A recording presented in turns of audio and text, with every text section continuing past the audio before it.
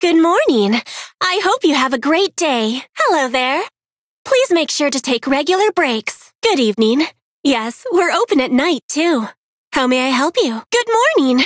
What sort of challenge are you looking for today? Good afternoon. Good evening. Roads can be dark and dangerous at night, so please be careful. Pardon me. Pardon me. Yes? uh. That's wonderful. You're amazing. Congratulations. I wish you luck. Hmm. Stop that. That's not good. Oh my. uh. Oh. Hmm.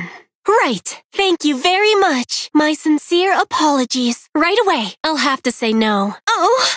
I'd appreciate your help. I understand. Words cannot describe.